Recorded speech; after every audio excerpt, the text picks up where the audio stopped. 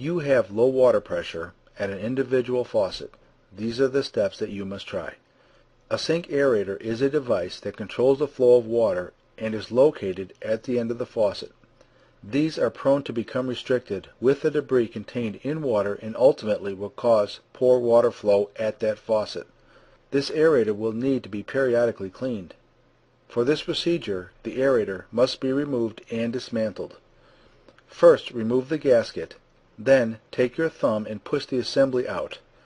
There will be a screen and a white ring with holes that needs to be taken apart. There are small holes in the filter that must be cleaned. At times a pin is needed to open these holes up. Make sure all holes are clean before reassembly. Make sure the gasket is installed properly or there will be leaks.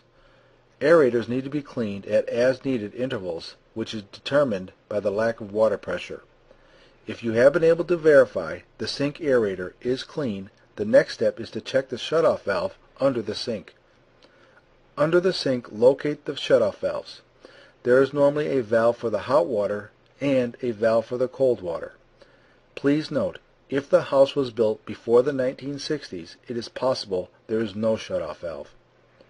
Turn the valve counterclockwise until it stops to verify the valve is open. This is a warning. If a valve will not turn, stop the procedure. You may cause a leak to develop that you will not be able to stop. If you have been able to verify the sink aerator is clean and any shutoff valve for the faucet is open, and there is still low water pressure to the individual faucet, you will have to call a contractor for the necessary repairs. It is possible that a handyman can make this repair.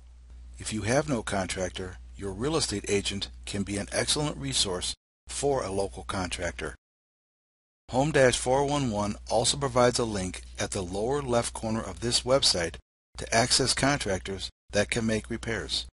We provide this link as a service for our members as contractors can be very difficult to find. Due diligence should always be used when hiring anyone to come into your home to make any repairs. Please read the Home-411 Limitations of Liability.